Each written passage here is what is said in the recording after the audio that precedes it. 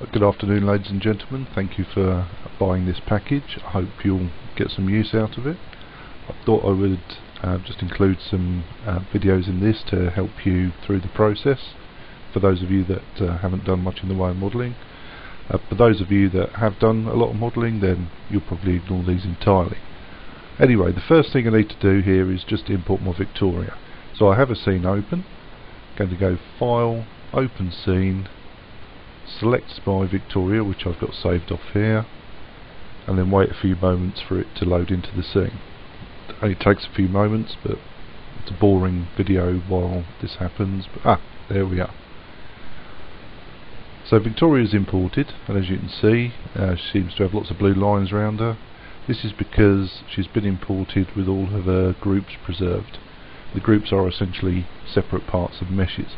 I don't want this uh, to be that way. I want it to have uh, one mesh to use. Otherwise, I, I end up moving things around and it all goes wrong. So first of all, then, if you hit Control A, right click on the mesh, and then Combine Objects, and now she'll become one whole object.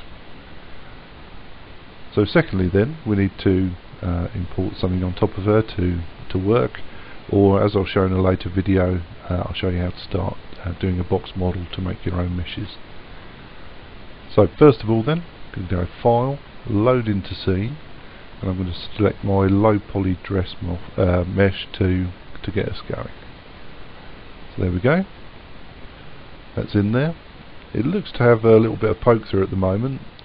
Uh, depending on the distance you are from the model will depend on how much it uh, appears there is poke through uh, but with a, such a low poly mesh you're going to get a little bit.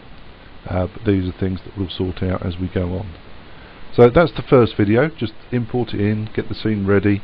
The next video will go on to uh, just changing the shape a little bit to to get the design we want uh, and we'll go from there. So I'll, I'll see you in the next video